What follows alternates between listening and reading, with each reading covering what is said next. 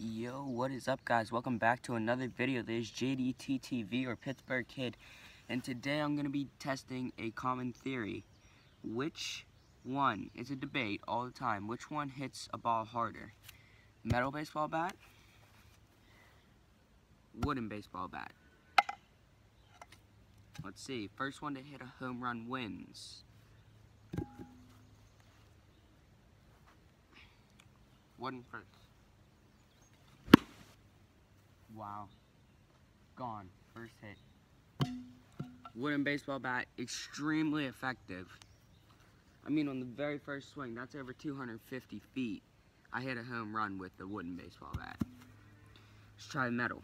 Well, that one won unless I can hit a home run right here. Let's test it.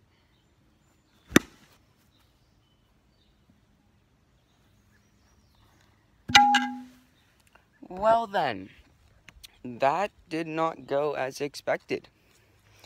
Um, that was a monster home run. Well, I hope you guys enjoyed the video. Next week, I'm going to be posting two videos in one day to make up for the day I missed yesterday. And I'm going to do a home run derby with Kaylee Rowan. She may say that she doesn't want to do it, but she will do it. See you guys then.